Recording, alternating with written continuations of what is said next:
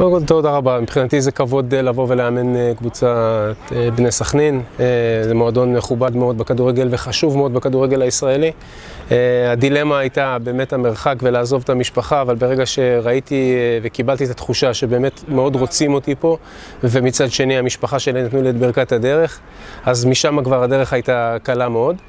אני חושב שיש לנו פה הזדמנות, גם לי וגם לשחקנים וגם למועדון ביחד, לצמוח ולחזור ולהחזיר את הימים היפים של המועדון הזה, וגם לי באופן אישי העונה הזאת מאוד מאוד חשובה.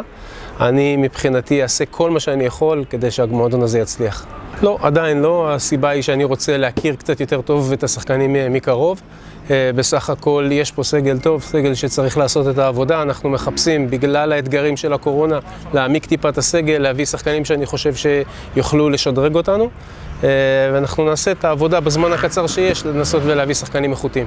אני, יש לי אסטרטגיה אחת, שהשחקנים הטובים יעלו על הדשא, זה לא מעניין אותי איפה הם גדלו, איך הם גדלו. כמובן שיש חשיבות לייצר דור המשך, ויש פה מחלקת נוער טובה מאוד שעושה עבודה טובה, אפשר לראות כמה שחקני בית יש פה במועדון, אבל בסוף אנחנו קבוצה מקצוענית שצריכה לייצר הצלחות. לקדם שחקנים זה דבר מאוד חשוב, ואנחנו נשתדל לעשות את זה, אבל בסוף אני, האוהדים, ההנהלה, כולנו בעצם רוצים הצלחות, וזו משימה לא פשוטה, אבל אנחנו נעמוד בה.